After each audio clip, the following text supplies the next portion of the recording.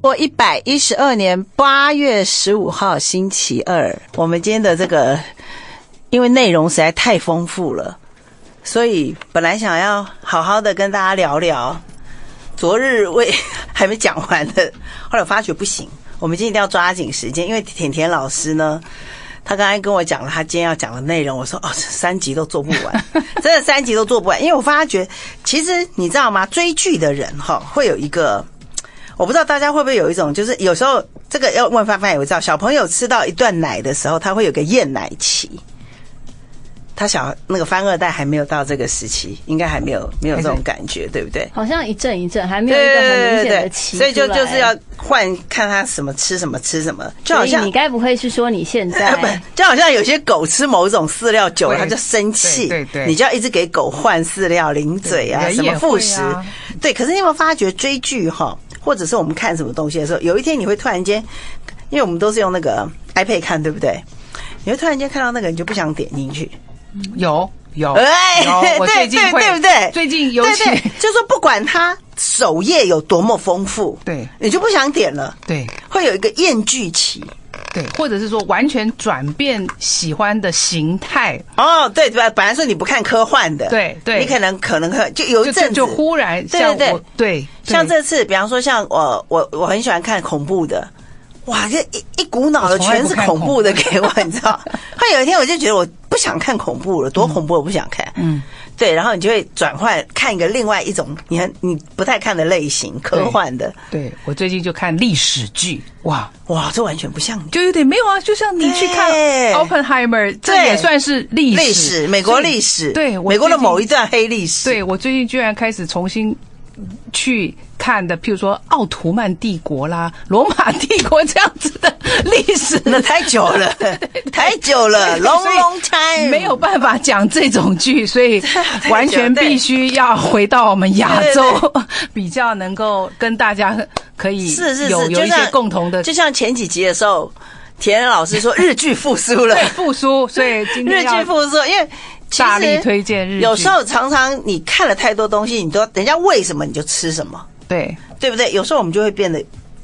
嗯，不能说那些不好，嗯，而是你可能就会被他喂你吃什么，你就吃那个。长大以后你就变那个样子了。对，所以就是会有时候你就很想换一个口味，对不对？对，就我们都很久没看日剧，而且我以前没错，对美剧最近真的是有因为一直罢工而没有新剧，对数量减少，所以只好去看历史剧啊，快要看西元前了，所以所以美剧荒的时候，我就开始看，我就觉得日剧真的是越来越精彩，因为。因为甜甜老师很喜欢那些一一些有智慧的日剧女星纷纷退隐，有，所以呢，他就有一点就有有一阵子他就抛远离了我们的日剧，然后又转去看大家看韩剧，但是最近又对韩剧有一点长进，对，有点失望。韩剧越来越华丽，可是越来越空洞，对。而且这剧情都完全可以预测，所以我最不喜欢看没错可以预测的剧。那也有人就会因为说他刚好看到这一时期的韩剧，他也会误会说韩剧都很难看。不是，也不是，而是说韩剧更早也有很经典。我觉得真的是一阵一阵子一阵子。可是某一阵子你会觉得说，哎，这个好像观众觉得点阅率很高，很好看，他就会猛拍。嗯嗯嗯嗯，对不对？把我们当呆子一样，对，很生气。对啊，就是所以你会觉得说，哎，突然间这种那么洒狗血、那么套路，只是换一个朝代的、换一个时代、换一个时候，你就觉得不想了。你也不想看穿梭的，你不想看继承人了，你也不想看偶像了，或者 对对，都不想看，不想装，都不想了。你就想看很单纯的戏剧的东西。对 对，所以我们今天的对，所以我们今天除了网红大乱斗之外，对，但我最重要，老师最重要的来了。最重要其实是因为两个字。而而开而看了今天的第一部戏，叫做《岩上》。我以为离婚嘞，不是第一部，因为 我前一阵子呢，我们两个最喜欢的 YouTuber 可被延上了。对对，所以 真的啊，我们讲是气愤填膺。我是老高，对我是小莫，老师是小莫，对。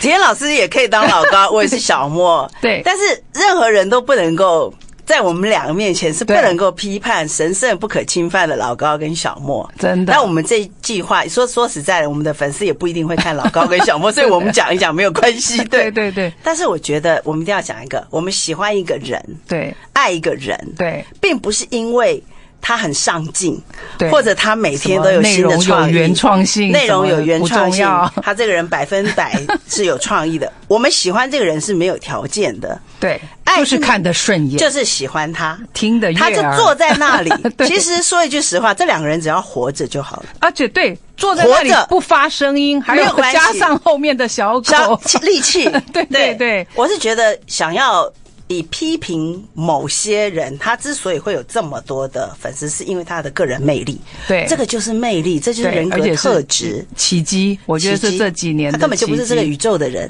对对，所以我觉得任何想要批评别人的创作有没有原创力我们喜欢他的人，其实粉丝是不想跟你们这些人讲话的，因为你们不懂。对。真的，你们不懂。智就说对。智智智智力，他已经超乎人类了，所以我超乎人类认为对维度跟一般的人去比是较，是，就真的。像好像说你要说某种宗教了，哦，他已经是某种宗教了，不可评。有点像是我们在信 follow 仰。他，对对，他是我们的是信徒像 我们就是盲目的、无脑的。对，所以就是因为他们被延延上了。然后我开始才明白，我以为延上是大陆那边的名词，那原来岩上其实是来自日文，我也以为是大陆，不是，原来岩上其实是大陆先流行，嗯呃，去翻译这个日文，所以言上事实上就是。被呃被呃搞的就是 对对对，所以是大陆先用这两个日文，所以我们也开始跟着被黑了延上被黑了，嗯啊，然后被炒话题或者被攻击或恶性恶意的这个污蔑，都叫做言上。所以第一个我想讲的这个剧叫做，所以在日文里面就是这个家玉手，就这个家姓玉手洗。所以这个家被延上，所以延上就有两个意思，就是火烧玉手洗家。嗯，可是另外一个意义，也就是这里的女主人被延上了，所以这里面的女主哦双重意义，对不对？她也是个哦网红，虽然是年纪大了的我们的铃木金香女士，对她是日剧奇迹，，对，她也她已经她竟然还没有退隐，没有真的真的，而且一直都没有结婚，对是。科学的知识大家都一样啊。好，我们一下回来，呃，先火烧玉手洗家家，对哦，那这个这个剧呢女主人对女主，我们的铃木金香是我们日剧的奇迹嘛，已经红了二十多年，而且这一次呢，她在里面。当然啊，因为她其实五十五岁，也有也有有一半的网友认为她保持的很好，但也有一半的网友认为五十五岁这样子就是太可怕了啊！就就太老了因为铃木金香这次很很棒的是，她完全叫电视剧组不要修她的容貌，所以他他愿意就是用他原原貌。原貌。他没有开滤对，镜，没有开滤镜，嗯。所以所以他就是把他真实的样子表现出来。可是他在里面的特色就是衣服换了非常多。啊，呃，网友有帮他算啊，就是就是每天都换好几套衣服，所以因为他在剧里面就是在演一个中年的网红，哎，那主题是什么？那主题就是为什么是火烧呢？是。就是说，十三年前，这这个剧呢是倒倒倒回去看，十三年前的有这个家，这个家是一个医生世家，所以非常的有钱，所以原来的女主跟跟她的医生是过着幸福快乐的生活，有两个呃可爱的女儿，但是呢，有一天就突然家里就着火了。失火，失火了啊！这个这个女主当还好，一家是平安的逃出来啊。但是这个女主当场呢就跪在地上跟先生说：“呃，很抱歉，苏密马塞，都是我没有把火关好。”OK，妈妈是不是？妈妈，这个妈妈，所以这个妈妈妈等于是女二。哦那哦那我们这个时候的哦女一就出来了，我们的铃木金香事实上是跟这个女主是好朋友。那所以这个小孩，你要想到老大呢，就看到了他妈的好友。也也来看这个火灾，因为已经不可收拾啊，整个家都被烧光了。看着烧，看着烧。他看到他妈妈的好朋友看到这个火烧的时候，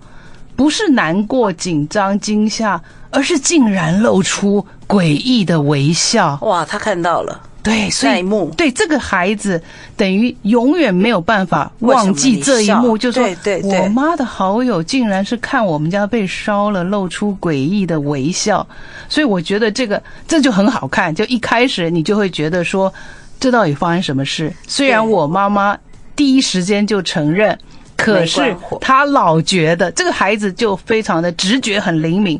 觉得纵火，对，就觉得就老觉得这个，所以铃木金香就是开始演一个在这个孩子的心目中永远是个坏女人的角色。虽然她没有办法去证明，那但是十三，所以她妈妈就因为这样 depress，然后忧郁，然后她也跟她爸离婚了，所以妈妈带着两个孩子就离开了这个医生世家，医生世家。呃，那可是难道医生世家不能重建吗？好，这就这就怪了。所以这个医生世家，呃，这个先生其实是非常懦弱的。他他虽然是医生，但是其实是家族在在 control，所以他一直都是一个弱懦弱的男性。然后他也相信，就是他太太竟然不小心没把他煲的家了对，所以他他可能内心也是怨怨他的，所以也就让他离去。然后这个时候，铃木金香当然就趁虚而入。怎么称？因为从以前不就是好朋友、闺蜜常当然就是去安慰她的先生，接近她先生。所以这个剧本身就是说，后来这个医生也就娶了你你妈的闺蜜，可是问题是娶阿姨，对对对，好是你妈妈的好朋友。甜，甜阿姨，但是问题是 这个他不，这个爸爸是懦弱的啊，是懦弱的啊、对他他的那他也没有办法再重振这个医生世家了嘛，对他当然结婚后又就重盖了嘛，所以就后来等于这个他的好朋友住进了他原本的豪宅，重建他从小对，最从女主女女主角就另外一个女主角就是女孩子长大了，就她望着她从前住过的家，哇，又变成了豪换宅了。换了妈妈，只是换了女主，对。啊，那那等于，但是十三年来，他这个懦弱的爸爸就都没有跟他们联络，对啊，就完全不联络好歹这两个小孩是你的嘛，这有一点完全不合人之常情，对不对？对，完全不联络。所以好看就是在于说，这个铃木金香很厉害的进来之后，而且把他原本的两个儿子也带进来了。所以他就等于是新的一个御手洗家，在这个御手洗家里面啊，两个就儿子是他自己的。前夫的，哦，他离婚了，对，他也离婚了，所以，所以这个故事就是在讲呢，等于新的御手洗家现在是被铃木金香和两个儿子霸占了，然后 落魄的妈咪跟他们就是搬离，然后自己去奋斗。好像不相干了。，对，可是这个老大因为永远不能忘记妈妈的朋友在鬼笑的那个事，所以他立志有一天一定要去查出来是谁纵火，因为她一直认为就是她妈妈的闺蜜，因为她的闺蜜就是住，就是常常来家里嘛而。且为什么要诡异的笑？对，而且就你看到火灾不可能会笑，你好朋友家被烧了怎么会笑？所以这好看是好除非他信仰拜火教。对，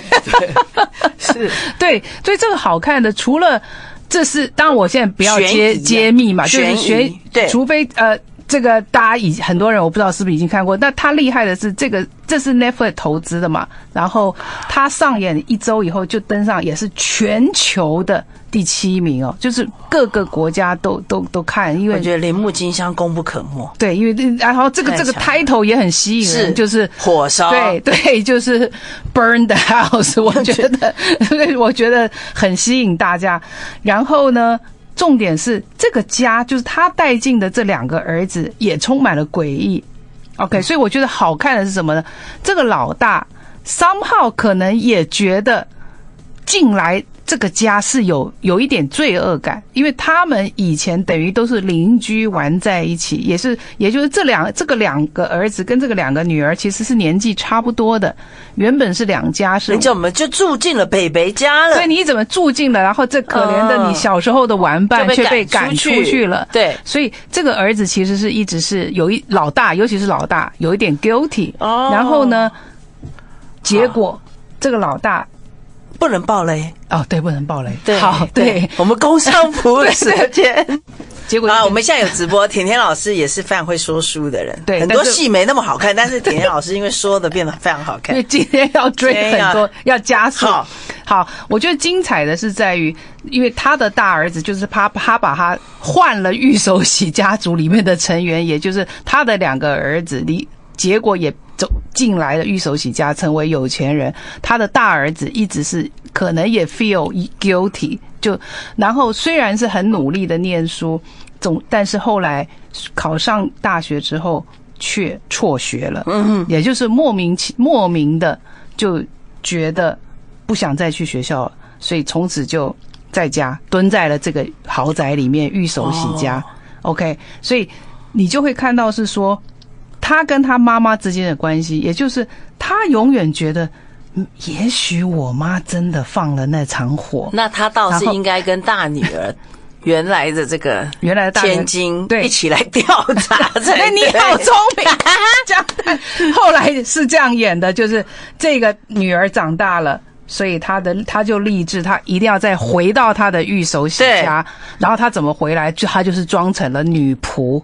就是家事妇。就是清洁公司哦，有一点点不合逻辑，就是在你再怎么变形，依稀感觉得出你小时候长什么样吧？对，这个是唯一可能不合理的，不合理的。但是这个大姐姐就是立志说，我也没有说要复仇，我只是要，我只是要调查到底那个火是怎么引起的。所以，所以铃木金香没有认出他，然后他的大儿子。隐隐约约有感觉，可是也不确定，因为他已经十几年都没有足不出户，他就成了御宅族。所以我觉得好看的是在于这个这个大女儿怎么样跟这个儿大儿子去慢慢的引导他走出来，因为一开始他是家家世妇嘛，对，但但是他的房间绝对不轻的。哦，我不晓得大家知不知道，其实很多的御宅族就是，呃，你不可以随便去吵他，然后他他他他就算里面堆的乱七八糟，他就是不能动，你不能动他的东西。我我有所有东西。对对对，所以他要演的，我觉得很好看的是这个妈妈，因为她后来反而变成很成功。她自从嫁入玉手洗家族后之后，她也力她也力争上游，对她力争上游，她她也是成为。中年的 model 哦，就是说，就是他在真在那个剧里面，他也是把自己保养的很好，然后成为一些譬如时尚品味的贵妇，哎，熟女 model，然后而且呢，慢慢的也去让自己的 IG 啊，所以也在也算是中年的一个网红。所以虽然是在剧中他已经四五十岁了，但是仍然是家庭主妇会喜欢的。啊，所以他这个呢，他就在演说他如何跟这个看起来有点不不体面的儿子的在家里的互动，因为这件事他一直羞于告诉媒体，他仍然引以为耻。就是我有一个御宅儿，对，但是他都告诉媒体说他的儿子在海外工作，所以他的儿子也知道我这个妈一直在骗人。哎呀，因为他要维持他一个成功、幸福、美满家庭主妇的形象，所以他不能让人家知道他的大儿子其实很失败啊，在家，然后就是米虫嘛，然后然后也很奇怪嘛，啊，就都都足不出户。可是事实上，在家里你就可以看到说，他的儿子之所以这样，是因为他的妈妈每天都会跟他说：“没关系哦。”你只要在家乖乖的就好，你不要出来哦，你不要出来，你不要出来，你是很你是很软弱的，你是很敏感的，你不适合出来哦。所以就很有意思，就是他可能辍学在家以后，他妈妈还真心的想要保护他到一个过度的的的地步，也就是说啊。那我知道你应该是太敏感了，你不适合这个日本这个高压的社会，那你就在家吧，那你都不要出来。那他还真的就慢慢的、慢慢的就跟这个社会脱节了。那他妈妈还是就鼓励他退缩，对鼓励说，而且是说你只要在家乖乖，你不要出来，免得人家也知道我撒我撒谎了吧。因为我撒的谎是你在海外念书，你在海外工作的很顺利。所以房间写着“海外”两个字啊，对 对对，我那个房型叫海外房。对，所以这好看是之余，所以这个大女儿回来，呃，进重新回她自己的家后，发现了这个事情，发现里面有个儿子，有个儿子。然后，可是他其实曾经是他很好的玩伴，他也喜欢他的，所以他一方面想要有点像想要复仇或想要调查，但是他其实又想要帮助这个这个海御宅对这个御宅族如何能够走出来？因为御宅族心里也有挂念说。也许我妈真的是个纵火犯嘛？哦因为我我我我我我觉得是都没有解开这个对结，所以他他也慢慢的去引导他怎么样去想要解开这个结。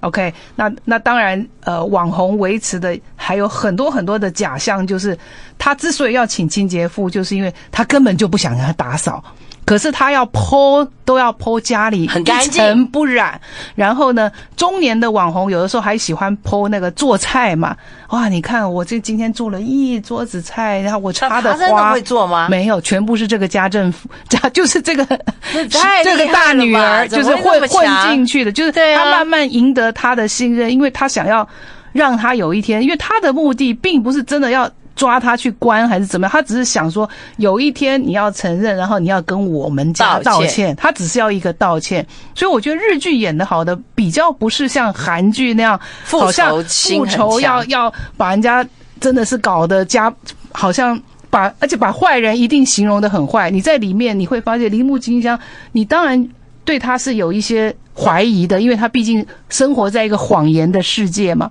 因为他他骗大家，他喜欢做饭，喜欢插花，家里呃名很非常的呃一。经这个这叫什么？呃，美丽啊，又有 style，那其实都不是他，都是这个清洁妇帮他打造，然后他就会去拍，拍了就 PO 到 IG 上，感觉他演到第十，总共几集？只有八集，很好。那感觉第 六集以前，你都会怀疑是他。对对，那结果你你都会你都会觉得这他他有纵火嫌疑，对他有这种潜力，对。对，那不要忘了他还有一个小儿子，那小儿子是啊就是他比较属于。他可以值得炫耀，小儿子就真的就进了医学院，然后未来医生世家，医生对不对？世家，嗯，然后呢也很标准体面，哦，就是属于妈妈可以在 IG 上炫耀的，就是幸是幸福快乐的家庭。所以我之所以要先讲先讲这个这个这接下来要讲的都有关系，就是网红的世界里面。其实是充满谎言的，好像我们现在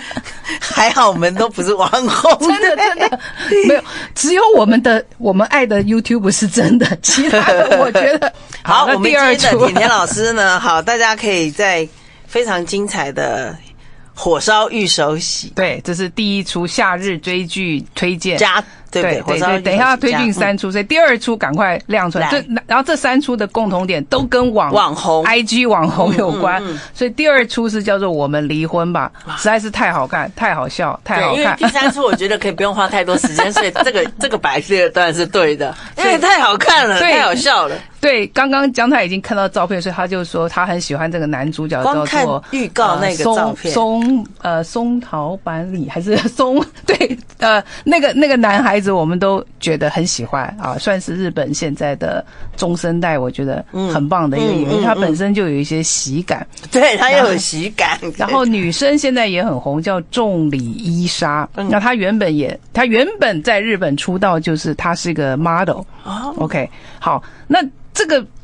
看起来就是一个很轻松的剧，就叫我们离婚吧。对，可是他的编剧太棒了，因为我一直很喜欢这个编剧叫工藤官九郎。嗯。好，所以是日本现在很有名的一个编剧，他的剧里面的对白有时候真的都有一些经典的。对对，对，尤其是那个对讲人家坏话，对，就是那那一段我我 PO 的就是那个时候他们已经在谈离婚了，所以呢，呃，原本应该不会，就是有你就互相是已经讨厌，就是完全不能够就要离婚了。都要离婚了，可是有一天。又没有办法，需要一起吃一顿晚餐，然后两个人就一起骂别人。那一起骂别人的时候，他们两个开心的不得了，然后才会想起来说：“哎，其实我们好像蛮蛮蛮合的蛮合的。”我们 而且他们会忘记我们为什么要离婚。好，所以所以这个剧要破题，不要骂对方，对一定要记得一起骂别人骂别人别人的时候，两个就突然觉得，哎，我们其实很投缘呐。可以可以，对对对，我就想离婚都来骂姜太好了。对，要有突然共同的觉得说敌人一。定要一定要，对对对，我们就可以挽救很多。他们突然间可能觉得说，对呀，骂别人怎么那么事不关己？对，就像我们骂那讨厌的蓝犬，我们一定要有共同的敌对对对对这样关系会更好。我真的从这里得到说，一起有共同的敌人，你们的婚姻关系会更好。的某个 呃不那么严肃的话题，对，然后我觉得这一出非常非常好看，是因为呢，它其实是综合了政治剧，然后政治剧，然后又跟还有跟现代的呃一些婚姻观念那跟网红有什么关系？好，在这个剧里面的女主角本身又是网红啊，对，好，我们没有说网红婚姻有问题哦。对所以就很有趣的是，好，这这一对 couple 呢，是等于算是呃，男生是政治世家，啊，也是典型的，就是一辈子爸爸是议员，然后他他就很理所当然的，一定也会当选议员。麻，生家族，对对，好，对，所以他就是他就是议员的二代，可是其实他呃很搞笑又蠢蠢的，然后常常没有大脑，就是因为他是从小就是他觉得他不用努力，他反正以后就是会是那个地方的议员，所以他讲话常常不经大脑哦，所以所以他在这里面是非常白目，常常说错话。那那原本他也都。不紧张，他因为他觉得他爸爸还会在位很久，对啊结果他爸爸突然死了，猝死。对，猝死，所以就是，所以他就必须真的要出来，这个那一块那个那个区域就要重真的重新补选，选了，就对。他就要出，他被推上来，他就被推上，可是他原本就是一个像本来是像个二愣子，像个公子哥儿，然后公子儿娶了这个里面的女主，那是女主本身是一个演演戏在在日本很有名的啊，就是算，譬如她在里面又演戏，等于剧中剧，她在里面演的是就是一个大和剧里面的女主角，哦也是个有名的影星嘛。对，啊然后呃，就是很受欢迎，所以呢，他娶了她以后呢。他们整个这个 CP 因反而是因为太太，人家才关注到这个二代议员，对二愣子 对，就是就就说这个婚姻呢，虽然他的妈妈，也就是这个议员世家，不是太喜欢他娶这个演戏演演演员啊，毕竟他的对，毕竟他的家庭有点复杂，这个我等一下讲。所以，因为他们这个是传统的世家啊，在那个地方是很有势力，所以原本是嫌他，可是因为他演了戏爆红，所以增加了他儿子的喜爱度，也拉拉票，吸对，所以走到哪里，这对 CP 走到哪里的时候，大家都会说啊，小巫女来了。他在里面就是演了一个小巫女，就是他剧中剧里面他演了一出剧，所以。等于他的太太大受欢迎，所以连带，所以会帮他拉嗯票嗯。所以这对夫妻一开始就是又是开始要准备要选举，可是他这个太太就开始觉得说，有一点很不喜欢每一次，等于我我你是靠着我，你这个你这个傻瓜，你根本就没有什么能力，你是靠着我才可以帮衬对帮衬，而且好死不死，这个这个人呢又搞了一个大外遇。被媒体拍到，也就是他的先生一开始二愣子，因为二愣子长得不错嘛，对然后有一个女记者去访问他，因为然后很快的他们就睡在一起，而且又被拍到。OK，所以这对于这个女演员来说非常气，因为她是如日中天的事业，然后他又一直在帮你拉提。你又被拍到，还真你又对，这真的，他就觉得非常没没面，所以第一集他就说我们离婚吧。就我也不想帮你了。你被拍到，你你若离婚没有被拍到，我还算了，那你被拍到，对我来说简直就是打脸。哦，就是我我我现在真的事业这么好，然后你你这样子真的，所以他的第一集就已经说我们离婚吧。所以你看，从第一集演到第九集，他们都在都在离离婚的过程中，所以就很有意思。就是说，那他的家人固然觉得你不应该去外遇，可是他又会拿出传统的那种说，不然你们等选举完再离婚。OK，就是为了政治忍为国对相忍为国。可是你要去看他中间怎么去 拖这个婚对姻推这个婚姻，因为他他一方面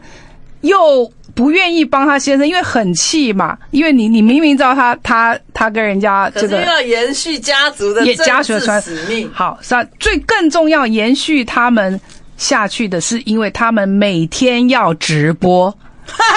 因为他太太是网红，所以他太太无论每天怎么跟他大吵大闹、摔东西，他会说：“等一下，八点了。” 所以八点一到，然后他就像我们这样把直播开了，然后两个就是 大家好，有点像这样子，就是前面再怎么吵，八点一到，夫妻两个好，今天特别来宾甜甜老师真的是说的比看的精彩。好，结果那那每天还要维持直播，就是说维系这个政治家族的生命嘛，对不对？对好，，所以我就要选啦，对这一一月十几号对，等于这这一段时间，他还是继续直播，就是等于这个主题又让你去感觉啊，原来直播的世界里面很多真真的都是虚假，也就是他们一下了直播又开始吵架啊，因为就是外遇的问题没有解决好，那再加上后来这个女主，也就是呃演员。她也心里愤愤不平的时候，他还他也想要出去找外遇，然后在无意之中、哦又被拍了吗？无意之中，真的就遇到了一个他完全跟他在两个世界的一个一个男生。好，那这个男生是在博清哥遇到的，但是这个男生就有那种忧郁啊、艺术家的气质。然后呢，他就他就蛮喜欢这个男生。嗯然后这个男生呢，每天不干什么事，就是白天都在玩博清哥，然后赚了一点钱之后，就回去他的工作室搞艺术，所以他就很喜欢这一类型的，而且这个艺术家还根本不认识这个女神是谁 因为他吧他并没有在追剧，他也不在乎你是不是网红，所以他很喜欢这种不认识，不认识人，而且忧哦很很无忧无虑的这种颓废的艺术家，跟他的政治世家那种虚假的没企图的艺术家。他就非常喜欢他，然后呢，甚至也就跟他回家了嘛，哈，呃回谁的家？回艺术家的家啊，脏大还干净，呃脏呃脏乱，然后当然大家大家想象的就发生了，可是很有趣，所以我很鼓励大家看的是，但是这个艺术家第一天就已经跟他说我性无能，所以呢啊，我以为我姓吴嘞，对，口天吴啊，他就说 我性无能，所以我没有办法跟你滚床单。哦，可是呢，，你其他你想要什么，我都可以给你。嗯，也没有垃圾，对对对。有什么好给的垃圾？堆？不是，大家就可以去想象，其实他在挑战一件事，就是然后等于是他就回去又告诉了他啊，其实他。她的婆婆已经有派人跟踪她一段时间，然后也知道说，哎，原来我媳妇儿也也跟人啊、也不简单了。嗯可是当她婆婆知道啊，原来你喜欢这个薄清哥男是性无能的时候，她婆婆竟然释然了，竟、哦而且大家他们可能纯粹柏拉图，对，所以他竟然就说嗯：“哎、你有权利可以喜欢另外一个人，是因为呢，没有滚传单的不算外就是遇，朋友，就很有趣。她婆婆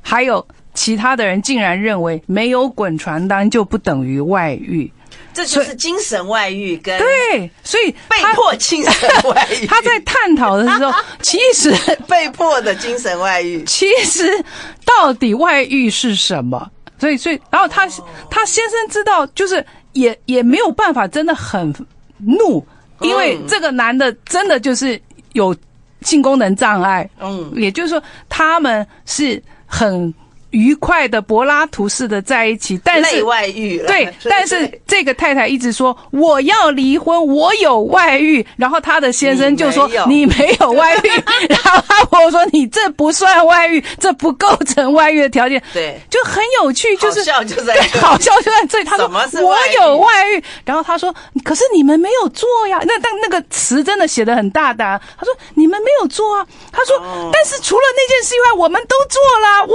有外遇啊，我们赶快离婚。但是他们就说没关系啊，这个没有关系的，而且可以容忍。她婆婆居然还有一句金句，就说：“哎，人的一生很长啊，你也可以去喜欢别人，但是你在政治，你还是要扮演一个好的政治的这个妻子的形这个。婆婆就睿智了。对，她说，因为你的公公也有很多的外遇，你剩四分钟，你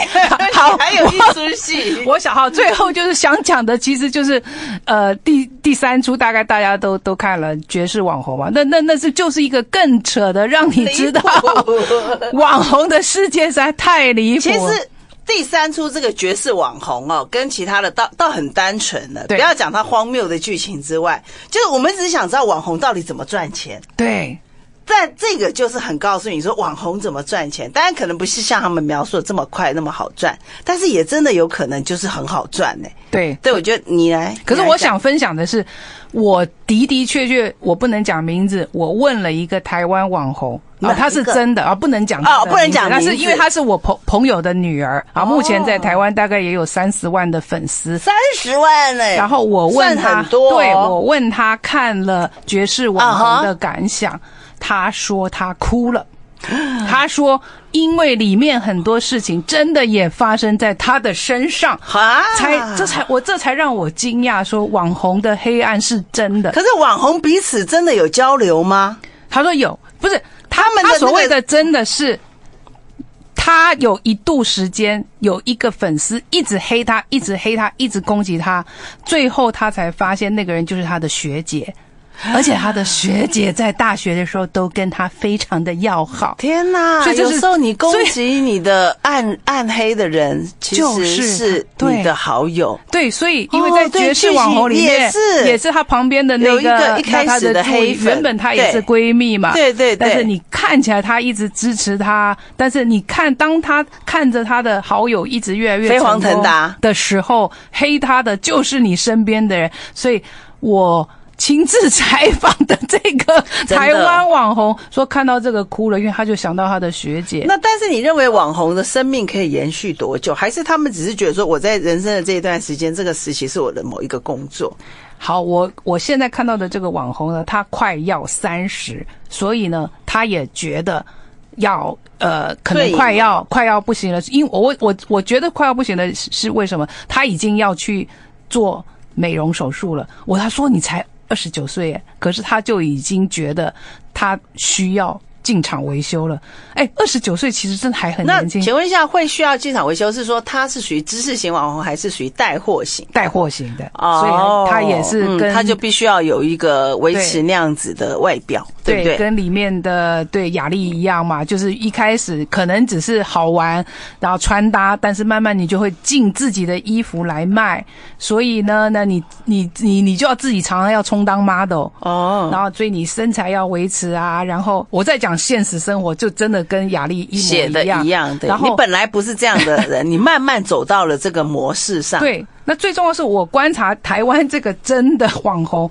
他虽然赚钱带货快，可是他也必须花很多钱，就跟里面演的一样，因为你要常常去吃很高级的餐厅，没赞助你要带很很棒的包，哦你要。花很多的钱在自己的装扮，你还要常常去旅行，去巴厘岛、去巴黎、去什么清迈，你的 IG 才会一直有人按赞。所以我感觉好赚是一回事，但是它花费非常多。有人会赞助，比如说台湾的一些餐厅，可是你到了国外，不可能人家不都认识你？对对，那我就发现他一天到晚得要飞国外，因为要让人家羡慕。网红不可能过得跟我们生活都一样嘛，所以他必须要过得好像在全球到处啪啪走啦，然后买最新的包，真的是就跟里我面们可以演的一样。当底层的网红啊。真的，我觉得他的花费，譬如说可能最新的包，他就说哦，我现在要去巴黎买货了而且。还不能拿假货，，对，不能拿，还就会不能拿被人家 A 货，对，所以